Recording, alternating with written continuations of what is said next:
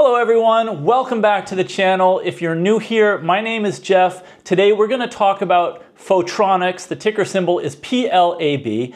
And before we jump into this, what is the point of our investing? What is the point of learning about researching and all the work we do before we buy a stock? And I'd say it's trying to get some kind of long-term edge when it comes to investing so that your stock picks do better than the average. So let's talk a little bit about this. What does it take to get a long-term edge? Like how do you do it? Well, I'd say there are a lot of different tools we can use, but one of them that I rarely talk about on this channel is technical analysis. I don't look at charts and try to like read the tea leaves, you know, or figure out the horoscopes of the stock market. I don't really believe in all of that stuff. I think if it was really easy to just read patterns in stock charts that people who are good at it would just become insanely rich. And it would be easy to repeat and to show other people, and then everybody would exploit all of these secrets in the charts until there was no advantage. But I do think that there is something to technical analysis. And if we think about it, if you really just get it down to its essence, it's about finding patterns in the data. It's finding patterns. Think about that. And you know what you really want to do if you want to do that correctly is you need it to be repeatable. You need to create a scientific method if you want to call it that, which just means that it's not something like in your gut, it's a feeling you have, and you go and you buy the stock because the sucker's going up. That's not a repeatable way to profit through your you know, stock market wisdom. No, you need something repeatable.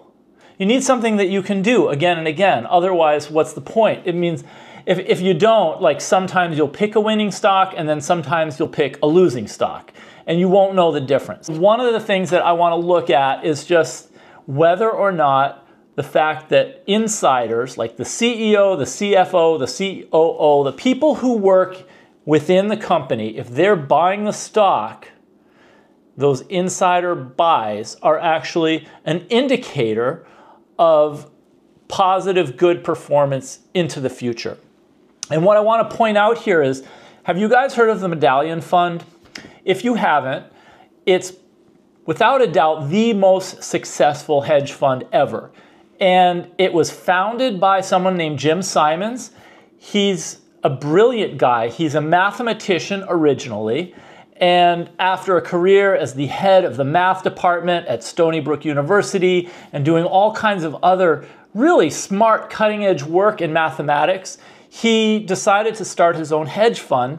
And he based it on technical analysis. What they really, what they did was they went back and they got all of this data from the past several decades of stock market transactions. And a lot of this was on paper.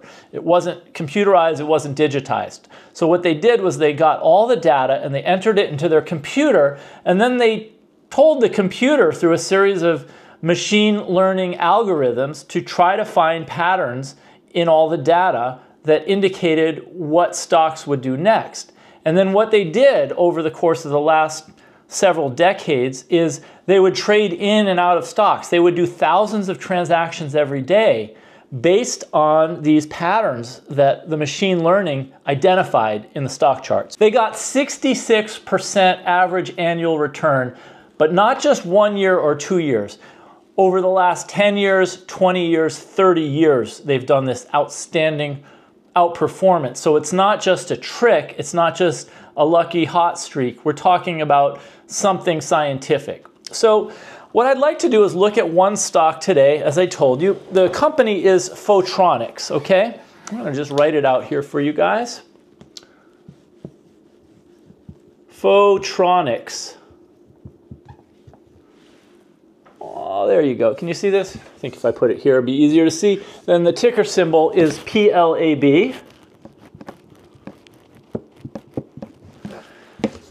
This company makes photo masks for the semiconductor sector. And um, these are just a really integral part of the whole process of creating a microchip, a semiconductor chip. And what I want to do here is look at insider transactions for this company and see whether they tell us anything. Um, not so much trying to get a feeling good or bad, but just recognize what's going on within the company. And then we will be able to look out, hopefully, in the next six months and the next year and see whether what we see in the data corresponds to how well or how poorly the company performs. This is a small cap company. It's uh, 2.09 billion market cap, and that's as of February 16th, 2024. And then if we look here at the uh, price earnings ratio of this company, it's at 16.45. So I consider that to be reasonably priced. And what I want to show you guys here is um, something that's come up now. You can see this in Robinhood. That's what I'm looking at now. But you can find this information in lots of other sources.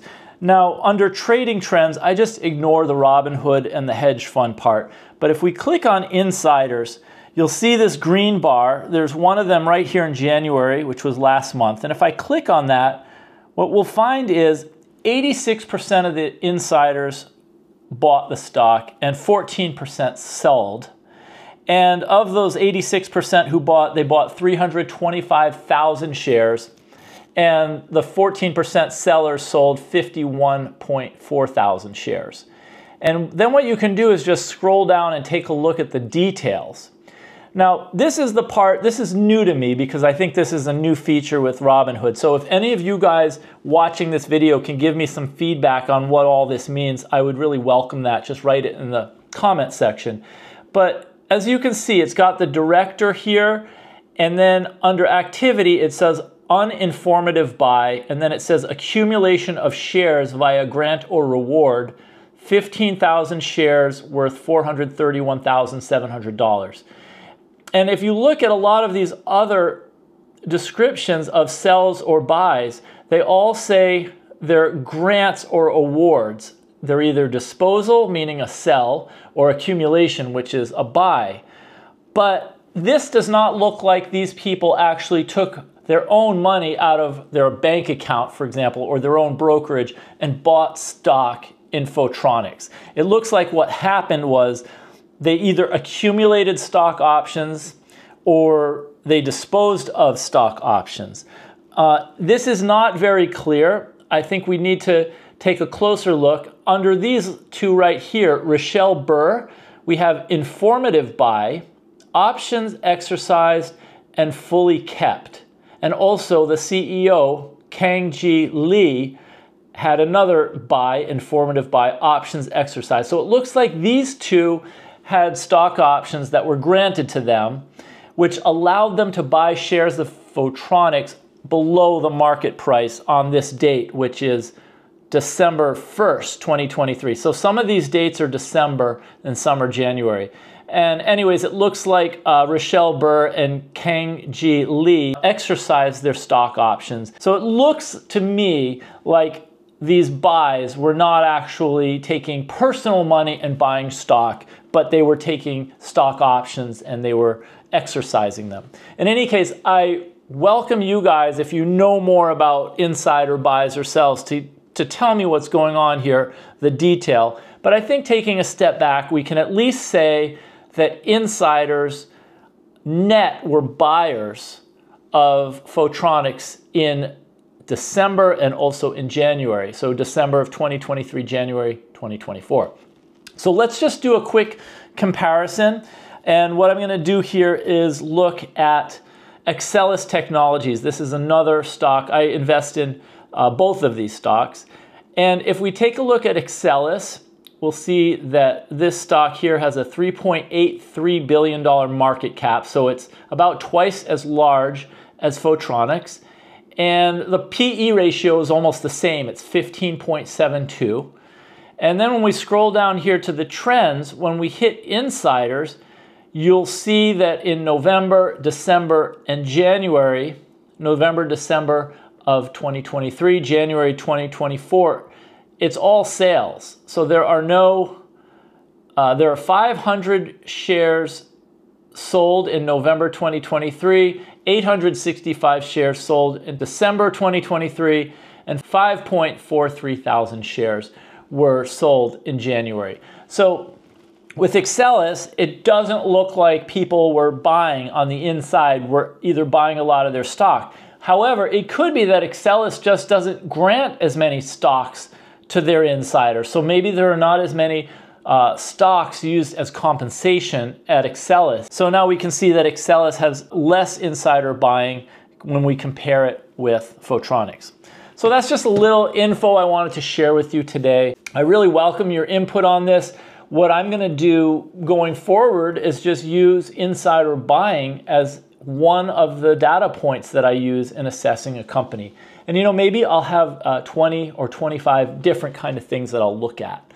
But if I don't make a note of this and if I don't track it, then I will not have a scientific method going forward where I can just spell out like, here are the things that I do before I buy a stock. Here are all the boxes I need to check, and this is what I look for. Because I think if we all as investors can put together a framework and make it a process that we can repeat, then we have a chance at doing this over and over in the future. But if we don't, then we're left kind of um, hoping and using emotion and looking at stocks going up and hoping these trends continue, but that's not really a repeatable process. So uh, this is not investment advice. However, I do think that sharing this kind of information that we learn is kind of useful because it helps me to learn more about these companies and about the whole method of using technical analysis and also hopefully help you guys in giving you another tool in your tool belt, something that you can use whenever you find a new stock. So I'm so glad you stopped by and watched this. Uh, please hit the like button. It really helps to push this video out to other people on YouTube. And if you're new to the channel and you have not yet subscribed, hit the subscribe button and that way you'll get a notification if you hit the bell whenever I make new videos. Most of my videos are about investing in small cap stocks. This year I've been focusing on semiconductors, so if you're interested in semiconductor stocks, this will be a really great resource because I'm going to be talking about new stocks in this sector every week, and I think you'll be able to find out about some new names and some new stock ideas every time you tune in. And I'm also focusing on ETFs. I'm an ETF investor. In fact, just last month, I made a pretty big investment in a new ETF. I think you guys would really like to know about it. I'm going to be talking about it in an upcoming video. So if you're interested in technology and ETFs, subscribe and you will find out about this new ETF. At least it's kind of new to me in the next video. Thanks so much for watching and I will see you in the next video.